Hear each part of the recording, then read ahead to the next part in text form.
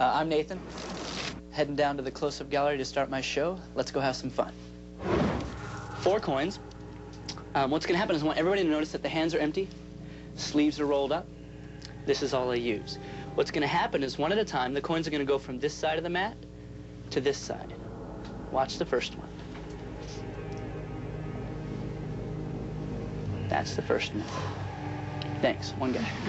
uh, we can do this again. Uh, but this time I'm going to do it a little bit slower. Three and one. Watch.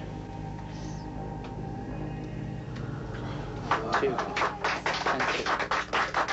This time I'm going to move the coins out like this. What's going to happen is they're going to vanish from where they are here and eventually appear in this corner here. But it's going to happen really quick, so don't blink. The first one from here to here. No, no, I was just, I was just a warm-up. Okay, for real, there it goes.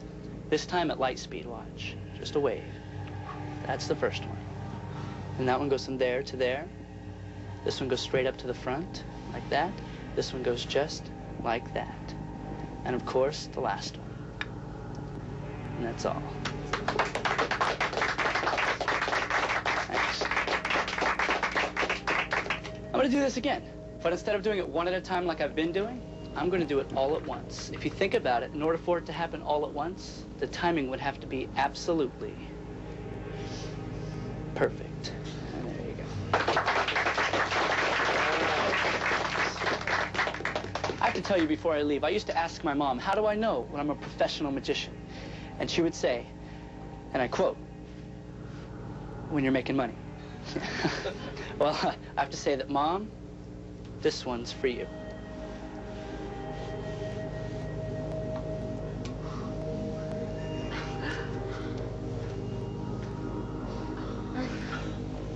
Thank you very much for your time. My name is Nathan. Hope you guys had fun. I thought that sitting that close, I would be able to figure out how all of the tricks were done, but I have no clue. I mean, even being that close.